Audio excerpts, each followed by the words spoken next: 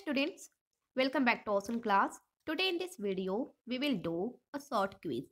The name of this lesson is Don't Tell. Now, I'm going to tell you a short summary of this poem. Okay? Don't Tell. Don't Tell poem is an emotional story about a young boy who listens to everyone patiently and protest and adult behave very unreasonably with him because of his small stature. This means don't tell एक भावनात्मक कहानी है okay इस कहानी में एक बच्चा है, जो धैर्यपूर्वक सबकी बातों को वो सुनता है और विरोध करता है कि व्यास उसके छोटे ढांचे के कारण उसके साथ बहुत अनुचित व्यवहार करते हैं क्योंकि बच्चा जो है ना, वो बिल्कुल छोटा था और छोटा होने के कारण ही उसके बातों को कोई भी बिलीव नहीं करता था, क्योंकि वो तो सब कुछ करना चाहता था। बट उसकी जो आकार था, वो काफ़ी छोटा था, इसलिए उसके बातों को वो लोग उस पर बिलीव नहीं करते थे। उसके साथ बहुत अनुचित व्यवहार भी करते थे। He wishes to tell them that he is capable of doing lots of things and solve so them his capacity once he is fully grown up वह उन्हें बताना चाहता है कि वो बहुत कुछ करने में सक्षम है और जब वह पूरी तरह से बड़ा हो जाएगा तो उसे अपनी क्षमता दिखाएगा। Okay you have already read this chapter so let's begin now now question number one the speaker is a there are three option but you will write only one option which is correct okay the speaker is a. ये आपकी कविता में speaker किसके लिए बोला गया है? Child के लिए, ओल्ड माइंड के लिए कि यंग माइंड के लिए? ना question number two who are they and them in the poem this means देखो, इस कविता में दे और देम किसके लिए यूज़ किया गया है? In the poem they and them refers to the parents of the child okay there are three option first option is parents second option is neighbour and third option is friends ना question number three what is the secret the speaker is hiding this means देखो, इस कविता में जो speaker है ना, वो अपने अंदर, यानी कि अपने अंदर कौन सा गोपनीय चीज़ छुपा करके रखा हुआ है? There are three option he is a giant in कि वो अंदर से काफ़ी बड़ा है। Second number he knows how to drive a car कि वो ये जानता है कि कार को किस तरह से चलाना है।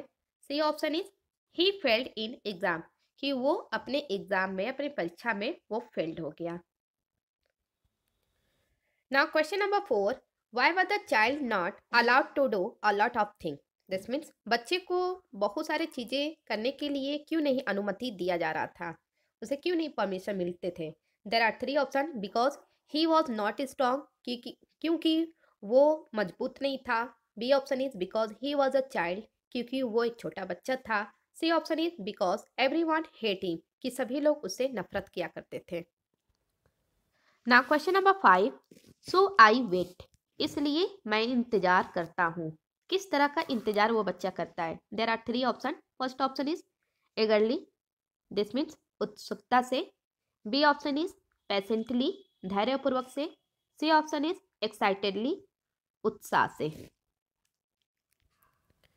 ना question number six who is the poet poetess of this poem इस कविता में कवि है या कवित्री है? और उसका नेम आपको बताना है। There are three option first option is iron Yeats B option is John Milton and third option is Robert Burns now question number seven choose the correct opposite of inside inside का आपको opposite write करना है, okay? There are three option first option is big B option is inner and C option is outside you will write only one option which is correct okay now question number eight identify the pronoun you know that word is pronoun a pronoun is a word which is use in place of a noun pronoun को हम लोग हिंदी में सर्वनाम कहते हैं और सर्वनाम किसे कहा जाता है जो संज्ञा के स्थान पर प्रयोग किया जाता है okay there are three option first option is Gujarat Gujarat is a pronoun B option is smart. Smart is a pronoun. And C option is they. They are a pronoun. Now, question number nine. Choose the plural of child. अब आपको क्या करना है child का plural आपको बनाना है बहुवचन there are three option child का चाइल्ड्स होगा बी ऑप्शन इज़ चाइल्ड का चिल्ड्रेन होगा। किसी है आपका?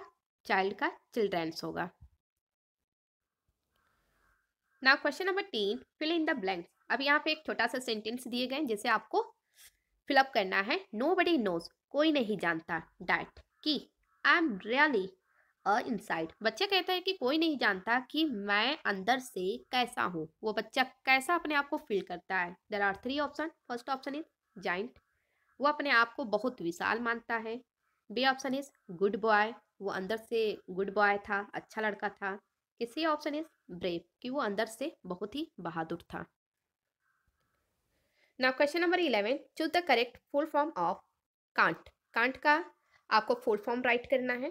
First option is could not. Second option is can not.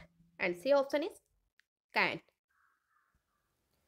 Now question number twelve choose the incorrect spelling अब इसमें आपको क्या करना है कि स्पेलिंग तो आपका लिखा हुआ है बट इनकरेक्ट आपको ढूंढना है। A option is patient P A T I E N T B option is enough E N O U G H C option is giant G I A N T तो इसमें आपको ये देखना कि किसका स्पेलिंग आपका गलत दिया हुआ है। ना question number thirteen but dash knows I am really a giant inside A option is nobody, B option is everybody and C option is somebody.